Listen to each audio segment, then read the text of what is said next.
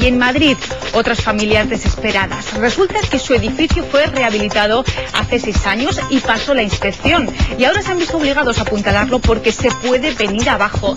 ¿Quién se hace responsable en estos casos? Rosa tiene que hacer una gincana cada vez que entra en su casa. El 14 de mayo, seis años después de rehabilitarla, se vino literalmente abajo. A un minuto estuvo de perder la vida.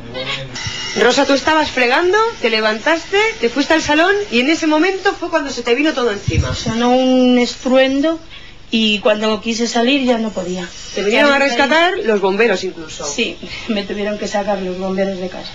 Es una de las ocho vecinas afectadas de la calle Sombrerete 6, un edificio de más de 100 años con viviendas de 25 metros cuadrados que ahora es una ruina. Mires donde mires, está apuntalado. Puntales por todos lados. Madre mía. Todo el techo hacia abajo se cayó. Esto todo. Estos son calas que ha hecho Dragados, que fue quien vino a hacer pues la, la primera revisión para ver cómo estábamos y ver si podemos seguir, vivir realmente aquí. Entonces, bueno, como verás, pues no podemos estar aquí dentro. Ha tenido que irse de aquí, alquilar otra vivienda porque no puede con el miedo, tampoco con la impotencia. Invirtieron sus ahorros en una rehabilitación que no ha durado ni un suspiro. Se supone que la rehabilitación mínima debería de haber durado 10 años, según dicen, pero a los 6 se ha caído. Entonces, eh, la gente que ha venido a verlo dijeron que no han hecho una rehabilitación, sino un lavado de cara. Esta es la zona del edificio que está más dañada. Eh, eso es lo que nos han dicho en principio, pues a raíz de lo que se ve a primera vista. Como ves, está todo vencido, se ha venido un poquito, pues ha cedido un poquito la viga. Y bueno, dicen que es la parte más afectada, que por dentro está bastante podre, que hay humedades. La humedad es lo que está haciendo que cedan las vigas. Madre mía. Madre mía. Y usted aquí en invierno tiene que coger una pulmonía. Yo estoy llenita de, de, de artrosis, de, de reuma y de, y de todo. La historia de Casi es aún más flagrante. Compró su casa ya rehabilitada, aunque les cueste creerlo, con la inspección técnica de edificios pasada, pero ni siquiera ha podido instalarse. Me llamaron por teléfono que se había caído. Entonces, imagínate, yo me desperté con esa, con esa noticia. A los seis días justos de haberlo Sí, comprado. pero porque la cuestión es que la casa estaba pasada a la IT y todas las cuestiones en regla y todo pare- aparentemente fenomenal, ¿no? Y resulta que, mira... Que nunca has llegado a vivir aquí, evidentemente, porque te has tenido que alquilar otra casa en otro sitio.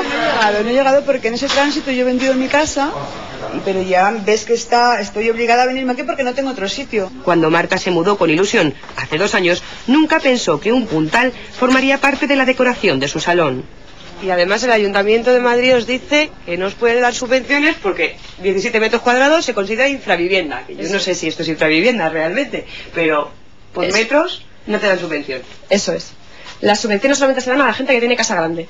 Eso es el- la conclusión a la que podemos llegar. O sea, si tienes solamente eh, la posibilidad de comprar una casa pequeña, no te van a dar ningún tipo de ayuda en el caso de que tengas un problema como el que hemos tenido nosotros. Buscamos respuestas en el Ayuntamiento de Madrid. Nos dicen que efectivamente no hay subvenciones para ellos, que se trata de erradicar la infravivienda, no de consolidarla.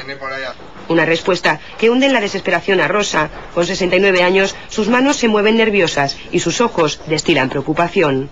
O sea, que se sienten ustedes completamente desamparados. Desamparados de todo el mundo.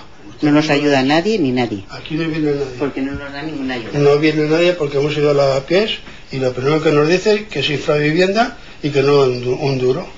Y entonces yo le expliqué a la directora de- de- del centro que por qué, que por qué siendo infravivienda, si la misma ministra dice que va a hacer vivienda de infraviviendas, ¿cómo que, cómo que eso es, es infravivienda? ¿Llevan toda la vida ustedes viviendo aquí? Sí, yo he nacido ahí en el, en el 3. ¿Y no le da miedo ahora mismo sentarse en este, sa- en este salón? Pues no.